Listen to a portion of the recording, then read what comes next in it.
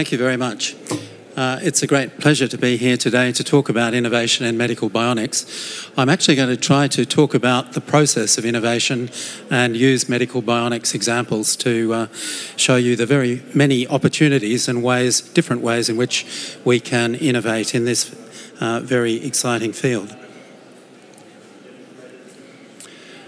Uh, before I start, I really want to thank the, uh, the organisers and uh, the Department of Innovation, Industry, Science and Research um, for, for asking me to come here today. Um, we have been working together with DII-SR over quite a number of years, and uh, the, uh, many of the, uh, the partners that we have listed on this slide are uh, also working together with DII-SR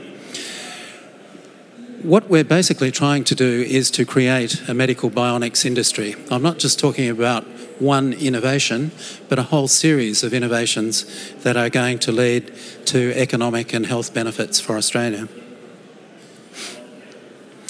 The place that I come from, the Bionics Institute, is really an ideal partner for this kind of innovation. And we're always looking for new people to work with us, people who have ideas. Our mission is to develop medical bionics solutions that will improve quality of life for millions of people with chronic conditions that can't be treated in any other way. So that includes totally deaf people, totally blind people, people with diseases that are not treated well with uh, drug treatments and the like. Many of these people can be treated with medical bionics devices. Uh, the Institute has three main research streams bionic hearing, bionic vision, and neurobionics. And I'll tell you a little bit about each of those today. Within the Institute, we have um, some very talented people. If I just talk about the four who are the most experienced, amongst those four people, uh, in, in total, they have uh, been inventors on over 100 patent families and have more than 100 years, man years, of experience in the medical bionics industry. So there is a huge wealth of experience there, and uh, some of it in industry as well as in research. One of the things that we have realised over the years is that to achieve our vision for clinical improvements, we need industry partners. You cannot go straight from research to clinical outcomes without industrial development and innovation. So, in part, one of our goals is to, to make the Institute a go between, between the, uh, the researchers with the ideas, industry who can develop things, and the clinical partners. Uh, part of what we do is form clinical partnerships. We have about 12 or 15 uh, honorary clinical research fellows who spend time working with us on their research problems in the clinical field. The potential economic impact of medical bionics is very high, as well as the impact on health. Uh, in 2008, we com commissioned a special study by uh, the Allen Consulting Group uh, to work out what the likely impact of investing in medical bionics would be in 2008. Uh, they considered only two devices the bionic eye and a device for epilepsy that detects and suppresses epileptic seizures. And from those two devices alone, they predicted that by 2028, there could be somewhere between 220 and 440 million dollars increase per annum in gross domestic product an extra 1,400 to 2,800 jobs in Australia. Uh, we're actually on track to meet these targets. So we're in year three here, where we're still spending money rather than making money. But uh, in fact, I think we're a little bit ahead of where we would have been according to their predictions. So now I'm going to talk to you a bit about the examples. I'm going to start with the bionic ear. Uh, the clinical problem that we were trying to solve was how to provide hearing to people who couldn't hear anything at all, totally deaf people. And that research started at the University of Melbourne in the 1970s. And the innovation was to come up with a multi channel cochlear implant, a device that would go inside people's heads and would stimulate residual auditory nerves. Uh, I started working with that team in 1979. The first multi channel cochlear implant uh, was implanted in Melbourne in 1978 with a prototype device that had been made uh, with the help of the Department of Engineering. Uh, the picture of the person there is the first patient who was implanted, and he used to come into the Eye and Ear Hospital uh, about once or twice a week so that he could talk to his wife. He could only talk to his wife when he was connected to a bank of computers.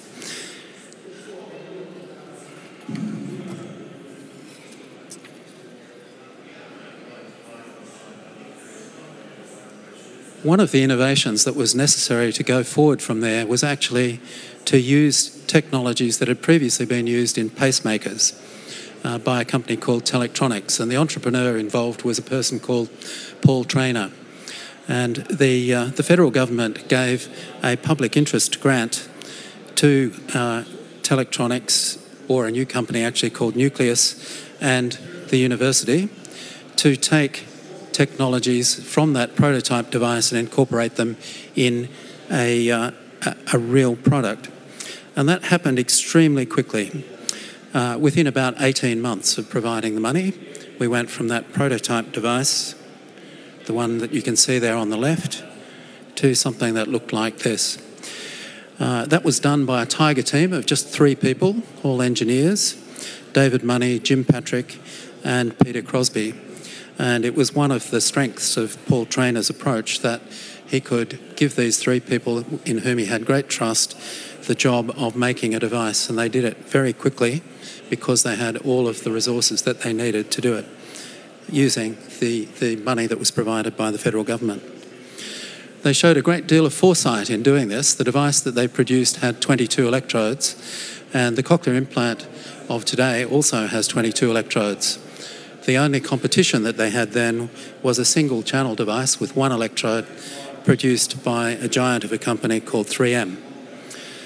Now, the significance of 22 electrodes is very important in the story that comes because that implanted device didn't need to change its capability to support innovation over the next 30 years. So uh, that is one of the most important things about the innovation stories that I'm going to tell you. You need to think ahead and plan the implantable device, which you can't easily change, so that all of the flexibility is on the outside of the device. The electroneural interface is another important part of the cochlear implant. This is the spiral that goes into the inner ear spiral, and each electrode stimulates a different group of nerves and produces a different sound. So, uh, this particular electrode, the contour electrode, was actually also uh, designed and produced using uh, money from our CRC for cochlear implant and hearing aid innovation. That work took place at the Bionics Institute, and the Institute was the administering body for the whole of the CRC for about 15 years. This is just one of the, the major uh, improvements that was made. What this uh, uh, electrode does for us is it puts the electrodes very close to the nerves so that we need to use less power in order to stimulate them, and so batteries last a lot longer. And it actually enabled us to use a behind the ear sound processor instead of a handbag size uh, box that uh, this, this patient here was using at the beginning. So these days, people use a behind the ear processor, which is quite a bit bigger than a hearing aid, but uh, can also be worn behind the, uh, behind the ear. It contains three fairly large hearing aid batteries because of this power consumption problem that I mentioned before. Behind the scenes and inside that, that processor, there was a lot of innovation going on. One of the things that makes the cochlear implant uh, successful is the algorithm that is used to convert from sound to electrical pulse patterns. And this slide here shows. Would you like me to stop or keep going? Keep going? Okay. So the. Um, this, this, graph shows improvements in speech perception. The, the, oh, here we are. No, I'm here. Okay. So the, uh, uh, the, the black bars show improvements in sentence perception with this device. Now you'll notice that back in 1978, when that first patient was implanted, results were not all that impression, not all that impressive.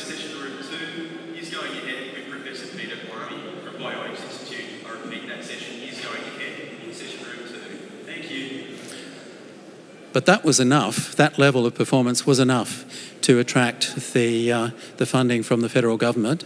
And very quickly after that, results improved because of changes to the algorithm that was implemented in this behind the ear sound processor. And um, that is what actually accounts for the success of the cochlear implant today. 80% uh, score on this sentence test is enough to hold a normal conversation on the telephone. So people who were previously completely deaf and couldn't use a telephone at all now have the opportunity to interact via the telephone in a very normal way. This video shows children who are having their processor turned on. Now that is a really important story to get across to the market for these devices, that children like to hear, they, uh, they don't like being totally deaf. And one of the big uh, uh, problems with cochlear implants in the early days was that people whose children had been born deaf uh, quite often preferred them to join the signing deaf community. Uh, but the fact that those children can now go to a normal school, can use the telephone, and have vastly improved quality of life and are happy about it is one of the, the big uh, factors that accounts for Cochlear's success. These are results from some of the, uh, the children that I have worked with over the years. Uh, each dot represents a different child. These days, children are implanted with cochlear implants very early, uh, quite often around about the six months of age uh, level. And what happens is that they learn to talk, they learn to listen, they learn to understand speech. And the pace of that can be different for different children. But once they reach an equivalent language age of about six years, which means that they can do the same things with language that a normally hearing six year old can do, then they are also performing above this 80% level on a sentence test, the same as the, the adults who had been born with normal hearing. So, research and innovation are going on continuously with cochlear implants. The problems that we are addressing these days are understanding speech and noise, perceiving tones in, in certain languages like Mandarin, uh, trying to improve the, the sound quality of music, and protecting auditory nerves using nanotechnology. There is a wide open field for further innovation with cochlear implants. Now, back in the 1990s, something different was also happening that people with some residual hearing were actually performing worse with, uh, with hearing aids than people with cochlear implants. And so uh, patients with residual hearing started to be implanted. And part of my job was to work on what was called the Combionic Aid program to develop sound processing for people who used a cochlear implant and a hearing aid together. And uh, at the same time, during the hearing aid in the hearing aid industry, things were going from analog hearing aids to digital signal processing in hearing aids. So this was a very important enabling technology that uh, that was happening in parallel with the innovation in the cochlear implant area. One of the uh, innovations was a sound processing scheme called ADRO, Adaptive Dynamic Range Optimization. And this was the first sound processing scheme that was available for people with hearing aids in one ear and a cochlear implant in the other.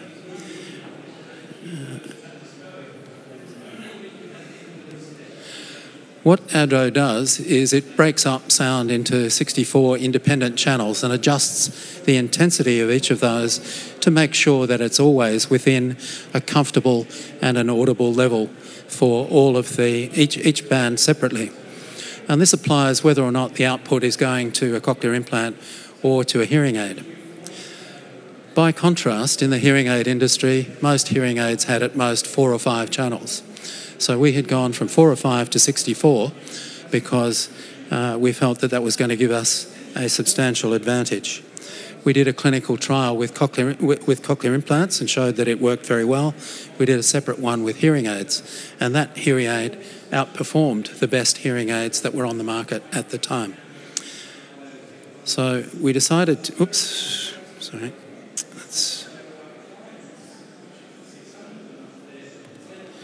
so we decided that we would uh, start a hearing aid company or a hearing aid technology company in Australia, and that was called Dynamic Hearing. Uh, so we took the ADRO technology and we uh, quickly found that when you're licensing technology, it's not enough just to have one part of the solution. You really need a complete solution. So using uh, money from AusIndustry with a, uh, a START grant, a BIF grant, and a commercial ready grant, uh, we spent a further $2.5 million developing uh, three other new technologies. One of them was a directional microphone, which improves speech, uh, speech perception in noise. Uh, the second one was very low delay sound processing digital signal processing takes time. So, uh, in between a sound coming into the microphone and the amplified sound coming out of the hearing aid, in conventional hearing aids, there's usually about 8 to 10 milliseconds of delay.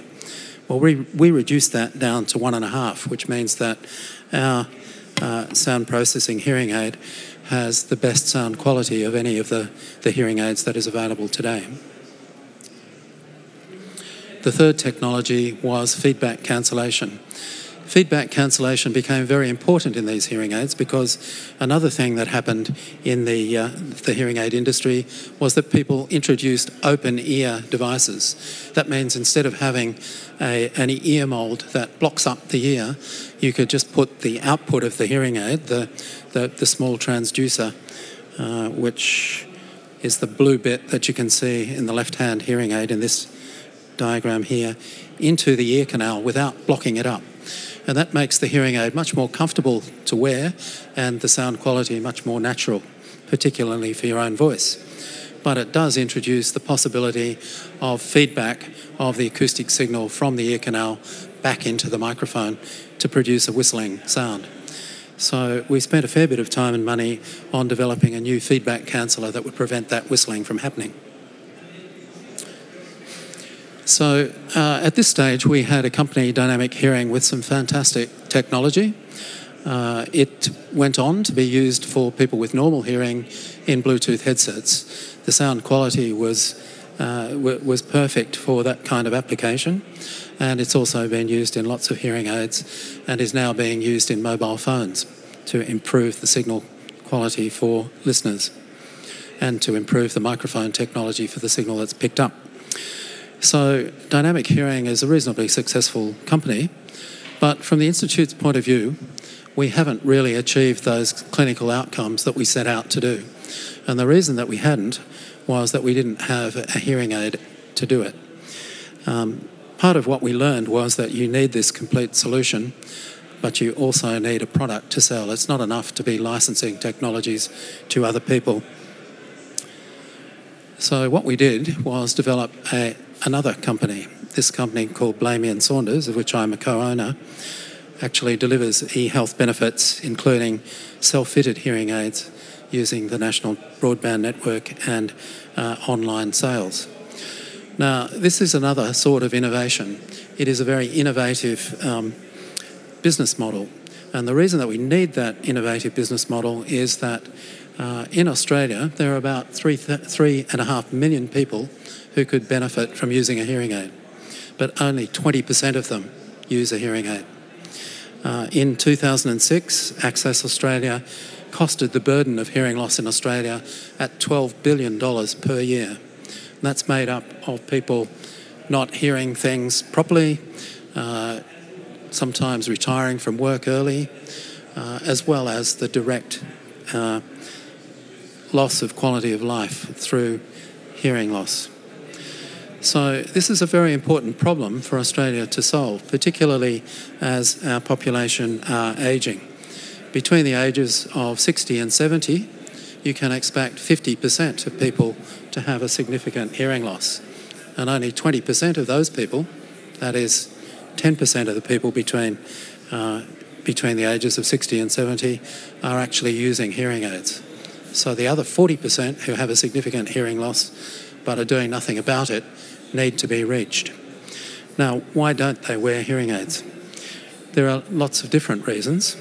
The first one is the cost of the hearing aids. To buy a, a very high quality set of hearing aids, a pair of hearing aids through normal audiological channels can cost you somewhere between five, six, seven, eight, nine, ten, up to twelve thousand dollars. It's a lot of money.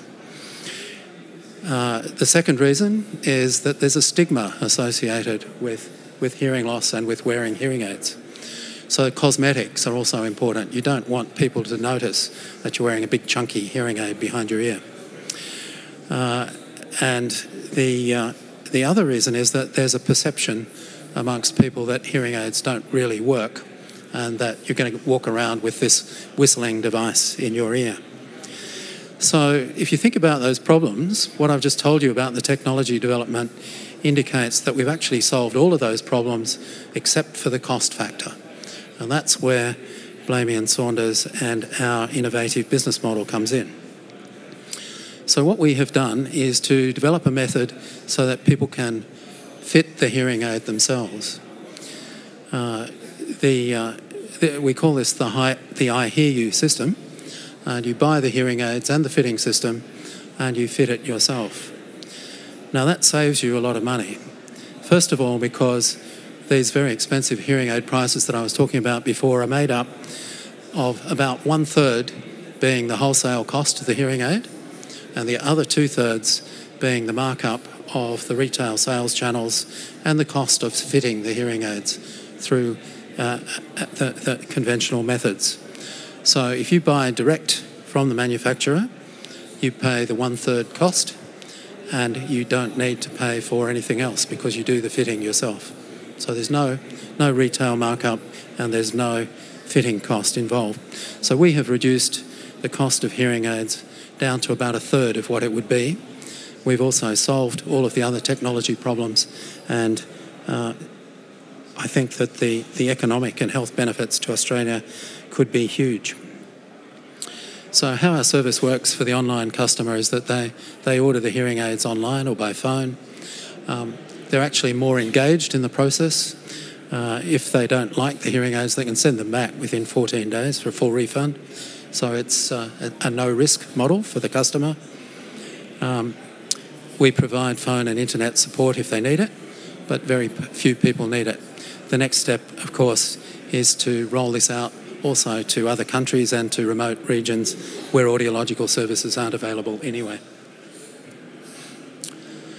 So the Bionics Institute is actually quite proud of the, uh, the fact that its translational research is already delivering health and economic benefits to Australia.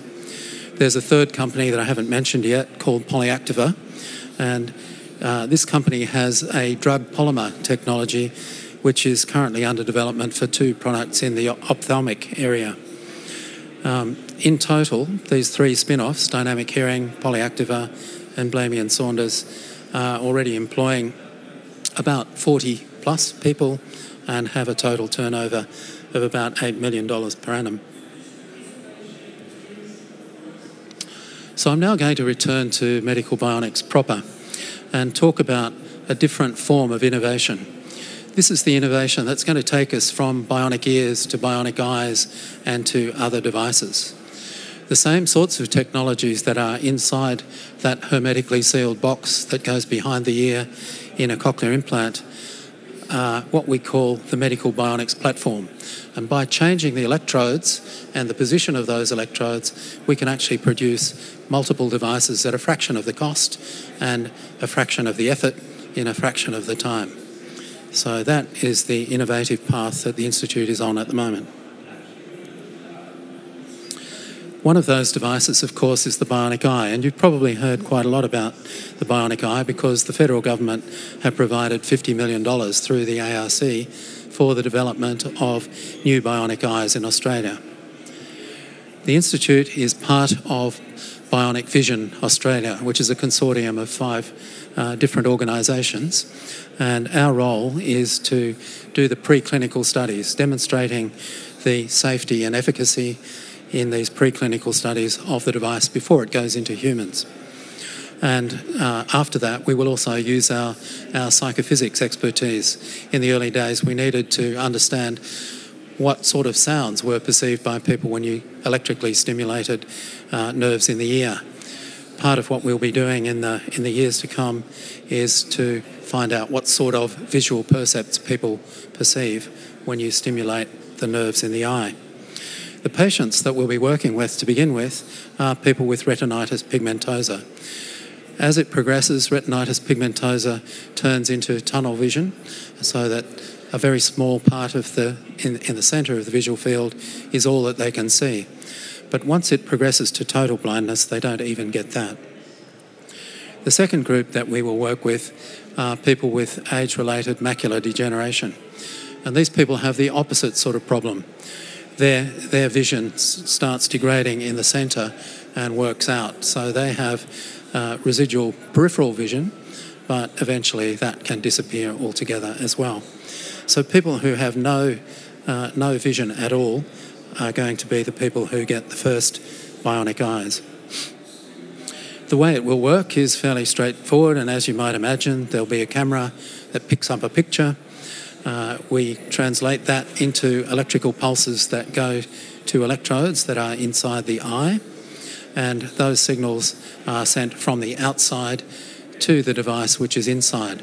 So, this idea of having an implant inside that does something fairly simple, i.e., picking up a signal and stimulating the electrodes, is the same as what happens with a cochlear implant. And that's one of the reasons why we can use similar technology to do it, but it also future proofs the device because as new ideas come up about how to do that translation, we don't need to take the device out and put another one in. The first device that we will produce is called a wide view bionic eye. It has about 98 electrodes, and those electrodes will go into the eye between the white part on the outside of the eye, the sclera, and a structure called the choroid, which carries blood vessels inside the eye. In front of the choroid is the retina, where the nerves are that we want to stimulate. So, what we're doing at the moment is working out how to get the electrodes in there, what size and shape they ought to be, um, what effect is that going to have on the eye, and are they going to be effective in stimulating those nerves. And so far, the prognosis is really good. The reason we want to do this instead of doing what our competitors do uh, is that the, the, uh, the device which is furthest forward from a commercial point of view is made by an American company called Second Sight. They have an electrode array that looks similar to the one that we will use, but they put it in front of the retina in what's called an epiretinal position. The retina is a sort of soft gelatinous structure and it's pretty hard to attach something to the retina. So the Second Sight device has uh, fairly um, variable results in terms of not every electrode can stimulate nerves and not every patient sees the same as every other patient. One of the advantages of this suprachoroidal position that we're going to use is that it gives very um, reliable placement of the electrodes and they don't move around inside the eye because they're sandwiched between the sclera and the choroid. So what we're hoping for is much less variability, much greater reliability in terms of stimulating electrodes in patients. So, this innovation of putting the electrodes in a different place is one of the, the most important things that we are doing in BVA. The second device that we're going to work on is a 1000 electrode array. The reason why we want to have 1000 electrodes is that we think that the more electrodes we have, the greater the visual acuity will be. Uh, there are some issues in putting a thousand electrode array into that suprachoroidal space. It's probably going to be too far away from the nerves that we want to stimulate for each of these electrodes to have an independent, uh, an independent um, percept in terms of what the patients see. So uh, we're going back to the epiretinal position or perhaps a subretinal position and tackling the, uh, the surgical problems to do with how to fix that array in place. From a psychophysics point of view, we expect that each electrode will produce what's called a phosphene, a sort of primitive visual uh, percept, and that each electrode will produce a phosphene in a different spot. So this is what you might see if you've got 16 electrodes and you turn them all on at once. If you've got 64, it might look like this. If you've got a thousand, it might look like that. Now, if you've got a good imagination, you might actually be able to see what that picture is. This is the original image. So you can see that working with a small number of phosphenes is a huge challenge in terms of representing useful information. Uh, we think that the 1000 uh, device might be useful for reading. You probably can't read this, you probably can't read that, but you probably can read this. So we think that with a 1000 electrodes, if they really do produce a 1000 phosphenes, we may be able to give people who were previously totally blind the ability to read large print. And that will have a huge effect on their quality of life. Not only will these innovative um, uh, approaches to things provide us with new devices, bionic eyes, we're also developing new technologies. Hermetic sealing of the electronics in a thin polycrystalline diamond package is one of the things that we're working on for the 1000 electrode device. You can't actually use the same technologies that are used in a 22 electrode cochlear implant to produce something with 1000 electrodes because there isn't enough room on the package for a thousand feed throughs to go through the wall. Um, we're also looking at very high density electrode grids. The, uh, using the diamond technology to produce the electrode as well means that we can have electrodes that are only microns across instead of uh, fractions of a millimetre. Um, these same electrodes can probably be used in the brain and we're also developing electrically efficient stimulators to try to reduce the power consumption. Stimulating 1,000 electrodes takes a lot more power than just 22. So I want to move on to uh, the third area of the Institute's research, which we call neurobionics. Neurobionics is the, uh, the stimulation of nerves in other parts of the body, anywhere except for the ear and the eye. So uh, positions where it may be uh, important to stimulate are the brain or the spinal cord or neurons in other areas. The first device I want to talk about is a device for the detection and suppression of epileptic seizures. The Institute has been working on this since about 2006 in conjunction with St Vincent's Hospital in Melbourne. And um, what the device is designed to do is to use electrodes on the surface of the brain to record activity in the brain, use that to detect the onset of an epileptic seizure, and then electrically stimulate to suppress that seizure. We've had a lot of success with this in an animal model. Uh, on the left, you can see a distribution of seizure durations in an unstimulated animal about 25% of the seizures end spontaneously within five seconds. There are actually some devices out there being used in humans that, that do this sort of thing, and we replicated the sort of stimulation that they use in the animal model, and that was successful in reducing the duration of seizures a little bit. 35% of them ended within five seconds. But the, uh, the outcome of our research was a novel stimulation method that actually uh, resulted in 90% of seizures ending within five seconds. So, by using this innovative technology in devices for humans, we hope to raise the performance of these sorts of epileptic devices to a much higher level. The epilepsy market is huge.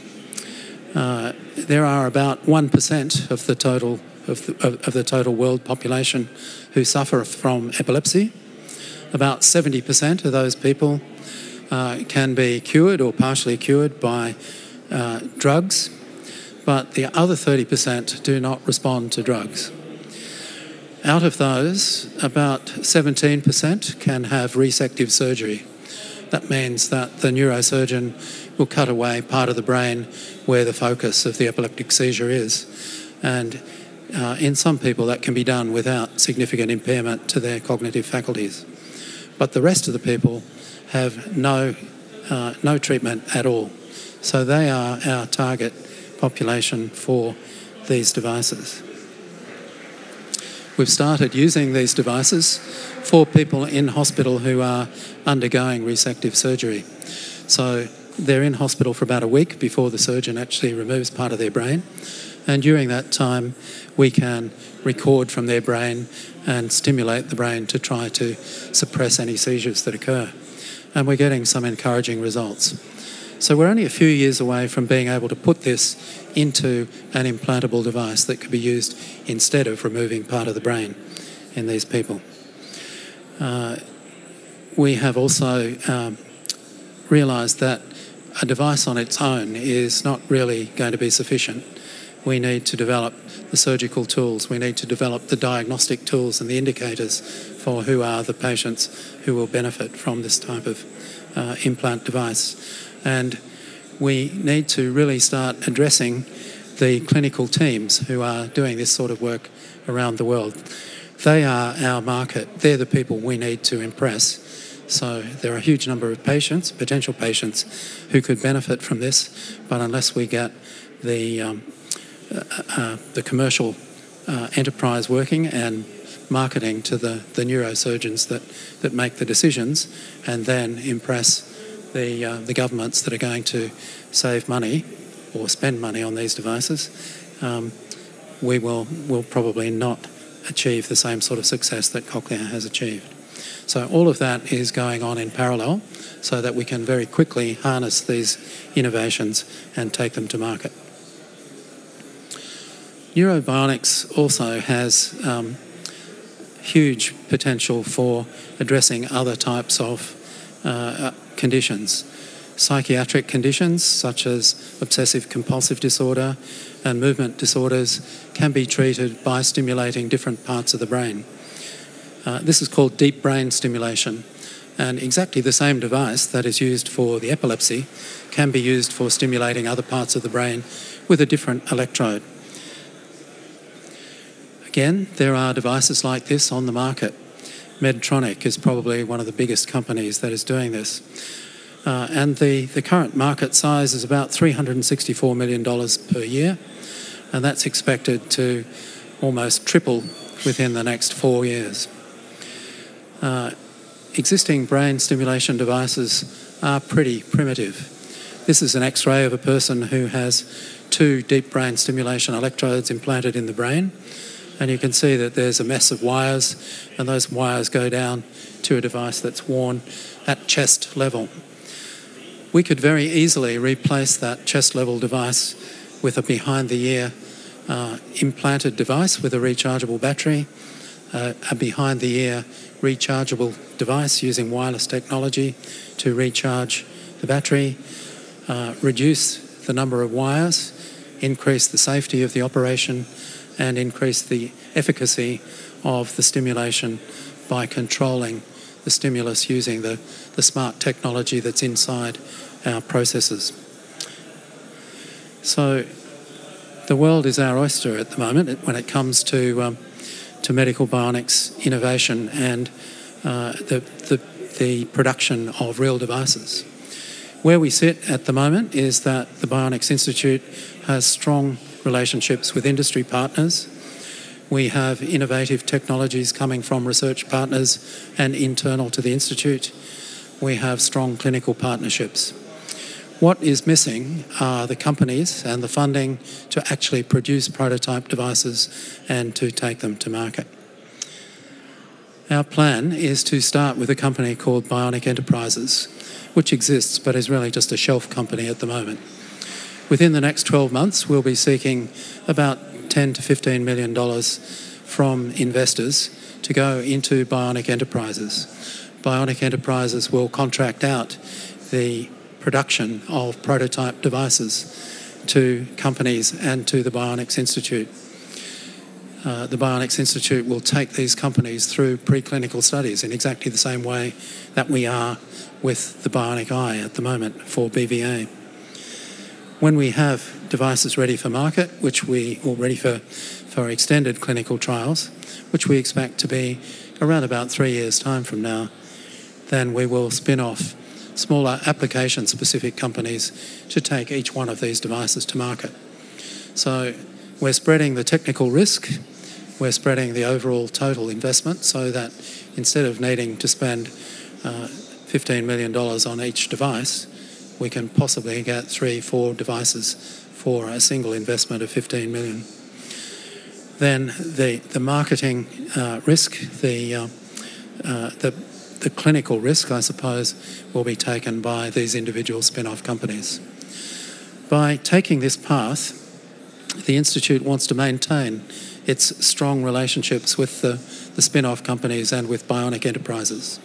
I hope that the Institute's research funding will be directed by these uh, companies that have strong connections into the marketplace.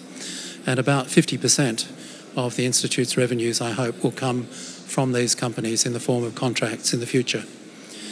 So, once again, this is a business model and a development model that is new to the industry. And innovation in the way in which we implement our ideas, I think, is just as important as the innovation and the ideas themselves. So, thank you very much for listening.